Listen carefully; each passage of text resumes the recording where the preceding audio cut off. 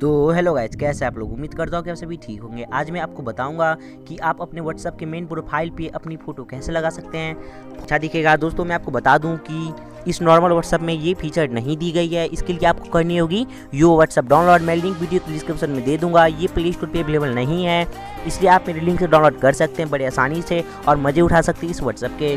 मैंने इस व्हाट्सअप से रिलेटेड और कई सारी वीडियो बनाई है। लिंक आपको वीडियो में के डिस्क्रिप्शन में मिल जाएगी। आप वहाँ से देख के मज़े उठा सकते हैं इस व्हाट्सएप के और काफ़ी अच्छे अच्छे फ़ायदे हैं, वो आप ले सकते हैं इस व्हाट्सएप के। मैं आपको आज बहुत ही आसान तरीका बताऊँगा, जिससे आप अपने व्हाट्सएप के मेन प्रोफ़ाइल पे अपनी फ़ोटो लगा सकते हैं। तो वीडियो स्टार्ट करते वीडियो स्टार्ट करने से पहले मैं आपको बता दूँ, अगर आपने अभी तक मेरे यूट्यूब चैनल को सब्सक्राइब नहीं किया है तो अभी सब्सक्राइब कर लीजिए और बेल आइकन को भी दबा दीजिएगा। ताकि जब भी हम कोई नई वीडियो अपलोड करें आपको नोटिफिकेशन मिल जाए। तो चलिए वीडियो स्टार्ट करते हैं बिना किसी देरी के।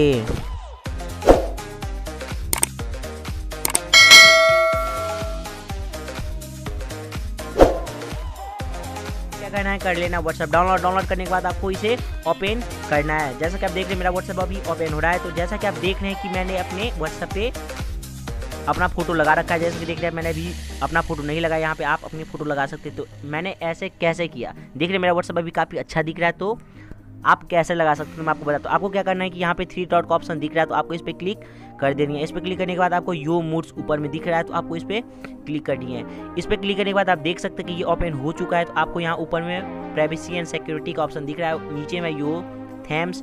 आपको यहाँ पे यूनिवर्सल का ऑप्शन दिख रहा है तो आपको इस पर क्लिक कर देनी है। इस पर क्लिक करने के बाद आप देख सकते हैं कि ये ओपन हो चुका है सेटिंग तो आपको कलर्स के ऊपर क्लिक करनी है। कलर्स पे क्लिक करने के बाद आप देख सकते हैं यहाँ पे बैकग्राउंड का ऑप्शन दिख रहा है आपको यहाँ से तो आपको यहाँ से इसे क्लिक कर लेनी है।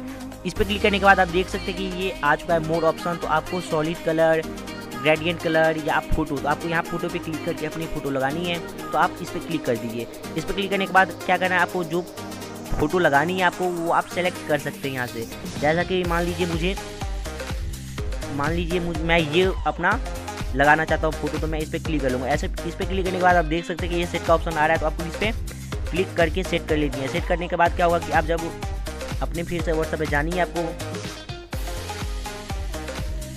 थोड़ा ये टाइम लेगा ओपन होने में तो इसको ओपन होने देते हम। थोड़ा वेट कर, जैसे देख रहे मेरा ये प्रोफ़ाइल चेंज हो चुका है और ये काफ़ी अच्छा दिख रहा है। तो दोस्तों, उम्मीद करता हूँ कि आपको वीडियो अच्छी लगेगी अगर आपको वीडियो अच्छी लगी तो प्लीज़ लाइक कर दीजिए कमेंट करके बताइएगा कि अब आपको किस टॉपिक वीडियो चाहिए। अगर आपने अभी तक मेरे यूट्यूब चैनल को सब्सक्राइब नहीं किया तो जल्दी से सब्सक्राइब कर लीजिए और बेल आइकन को भी दबा दीजिएगा ताकि जब भी हम कोई नई वीडियो अपलोड करें, आपको नोटिफिकेशन मिल जाए। तो मिलते हैं नेक्स्ट वीडियो में। तब तक के लिए bye Vande Mataram. Thank for watching